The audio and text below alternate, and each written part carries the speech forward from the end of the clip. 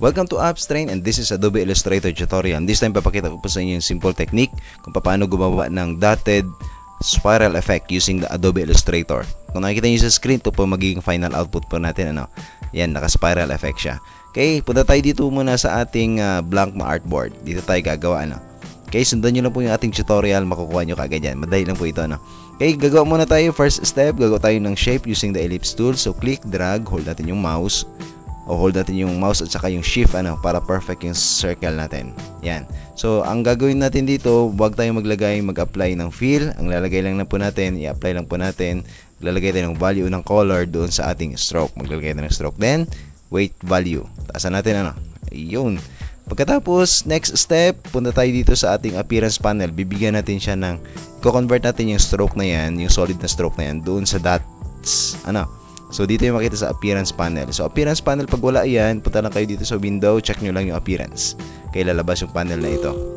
Okay, sa appearance panel, check natin o click natin yung stroke. Then, check natin yung dashed line. Okay, so yan na, ang value natin ay 0, 12, 0, 0. Yan lagay yung value, no? So, ito yung maglalabas doon, ano.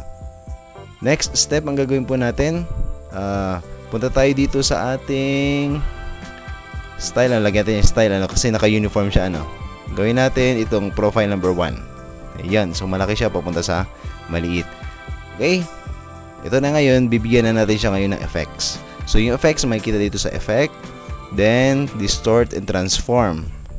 Click natin yung transform. Ayan, click natin yung preview para nakikita natin ano. Ang gagalawin lang natin, paglalaruan lang natin dito yung scale, then yung angle niya, yung rotation niya, rotate, then yung number of copies. Okay, for example, sa scale, lagyan natin ng 90%. Okay, 90%. Ayan. Then dito sa number of copies, lagyan tayo number of copies, for example, ay 15.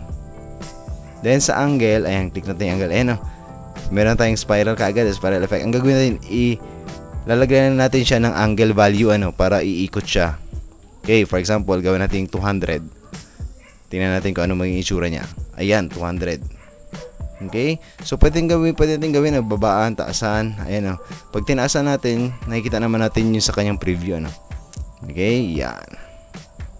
So, pwede, pag nagdagdag tayo number of copies, ang dadagdag yan ay dito sa gitna. Tingnan nyo po, ano? Yun. Okay, dito sa, ang, sa scale niya, dagdag tayo. For example, gawin natin 95. Para medyo dikit-dikit siya, ano? 95. Then, 95. Tanda natin yung value sa taas, sa horizontal at saka vertical dapat pareho. Ayan, so masyadong dikit. Ano gawin natin?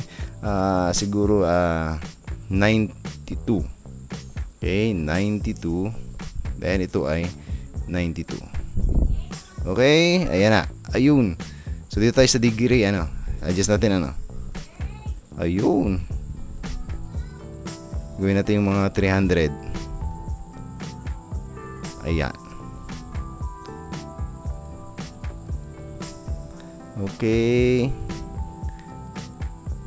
Ayan.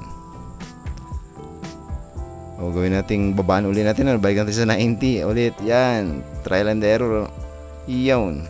90. Ayun. Ganda, no? So, ganun lang kadali.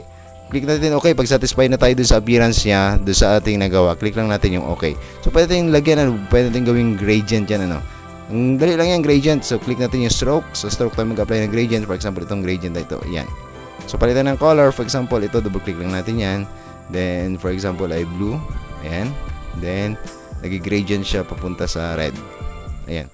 So, bahala tayo magtimpla na ng color. Pero yung proseso ay ito yun ano kung paano gumawa ng dotted spiral effect using Adobe Illustrator. Okay, thank you for watching and sana po makatulong po sa inyo yung ating tutorial. Please don't forget to subscribe, like, and share na doon sa ating uh, tutorial at sa ating mga video dito sa ating channel Upstrain. At kung wala pa kayong Adobe at gusto nyong itry yung Adobe, ilalagay ko sa ating description yung link para pwede kayong makapag-subscribe sa any Adobe products. Okay, thank you for watching.